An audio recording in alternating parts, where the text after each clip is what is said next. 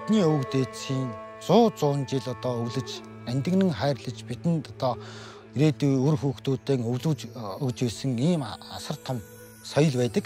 Миний одоо мэдээ орсон цагаас хойш өсөж өндийсэн мэдээ орсон цагаас хойш одоо үлгэр дуурал болгож одоо чулуун тоглоомоо өрж ингэж одоо өссөн хүний хувьд энэ малаж жохоогоос хөндөрнө гэдэг бол бас яаж ч бодсон. Миний бодлоо юу хаанд бол одоо багтахгүй ийм бол одоо нөхцөл байдал байт юм блэ миний одоо өссөн орчин тийм ээ одоо мэдээ орсон цагаас хойш л одоо мэддэг мэдэж ирсэн хийж ирсэн бүтээж ирсэн.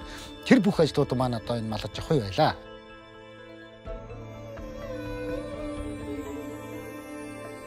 малчин одоо хүн хүүхдээ яаж хайрлаж энэрлдэг үү аа одоо бид нар чинь тэр хүн шиг л малаа хайрж шамгаална шүү. Одоо хүүхд малчин хүүхдүүд чи одоо бид нар ч хүүхдүүдээ ээ түлэгдэчвэ гал цогийн тайрагдчихвэ гэдэг шиг малчин бид нар чинь бас л нөгөөдөлж усгүй яваад өгвэ.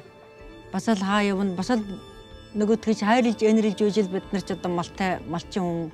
Хэл ам өрөө цугаан байхгүй. Мал хүнгүй таавараа сайхан байсан.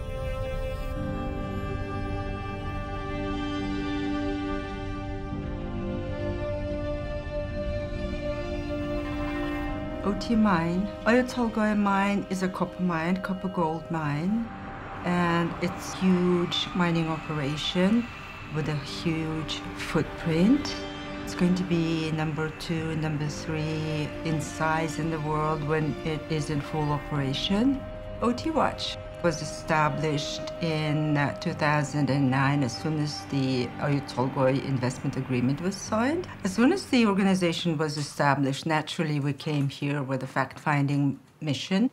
And then we found out that not only water was a concern here, that the local community, the herding community were resettled and there were very unfair compensation packages and that people were being hurt. Inside the mine license area, that land used to be the herders' prime spring pasture land.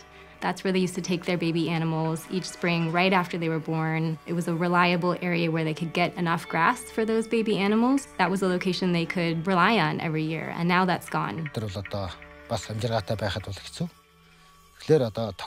Бид яг хой өрөх миний хувьд бол энэ уурхай миний одоо энэ малаж жохой гар амжиргаан залгуулах байх байх ирээдүйн хойч үе бид би одоо өр хүүхдүүдтэй малаж жохойгаан өвлүүлжүүлдэг гэсэн ийм бүхэл бүтэн боломжуудыг бол бүрэн хаасан ийм хэмжээний нөлөөллийг бол надад бий болгосон. За оюутлогоо ер нь орж ирснээс хойш гэх юм бол одоо тэгэл бид нар одоо тоос төрөн бэлчээр шахагдаал одоо ус бол маш ховордож байгаа шүү. Хаа цайгуул одоо малчин хүмүүс дандаа л ус овордож ирнэ усан дээрээс ончволж тэгэл хэл ам хариу зүгэн бус бэлчээрэн дээрсэн болж одоо малчич хоорондоо их маргалдаж бас их хэцүү болж байгаа шүү. Бэлчээр шахагдсан салхи шороо уур амьсгал бол эрсэл өөрчлөгдсөн дэ оюутлага орж ирснээс хойш бол ирнэ.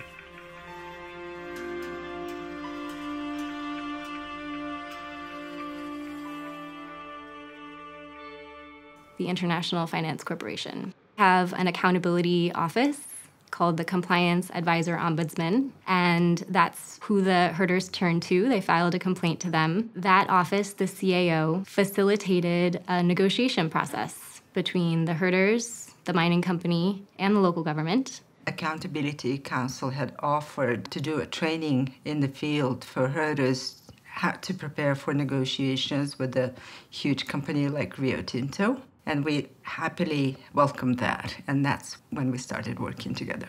The most important support that Accountability Counsel provided was to help the company and the herders communicate. At the time, the relationship was so bad that they will just scream back.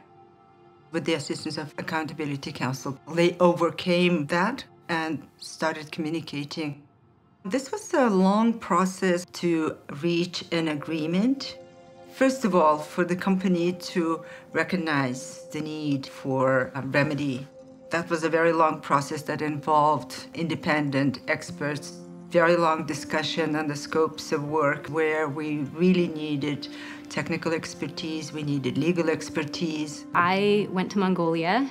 I moved there for a couple of months in the winter of 2017 to be able to provide more on the ground, close support and to accompany the herders through those final stages. We helped the herders to consult with the whole herder community to develop a set of demands, think together about what they hope to achieve through this negotiation process.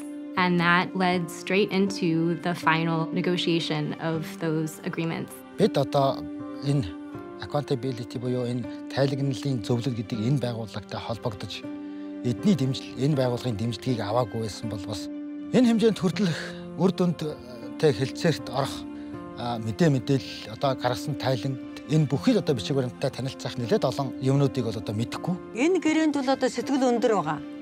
Төрүүчийн 2004 онд одоо хамрагдаад чадаагүй.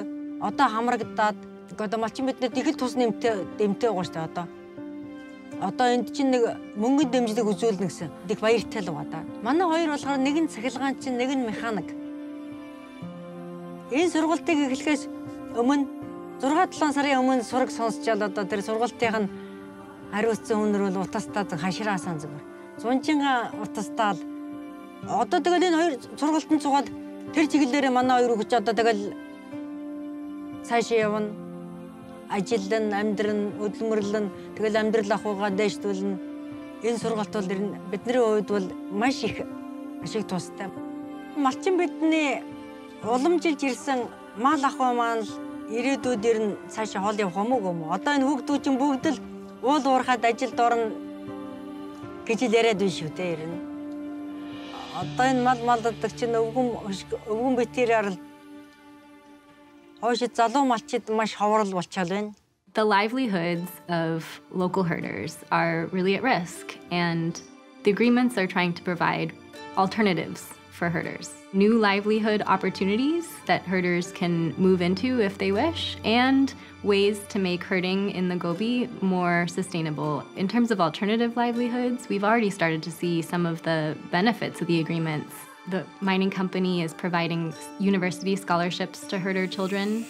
They have also offered vocational training programs in welding, an electrician training program, the mine is also offering grants for startup businesses.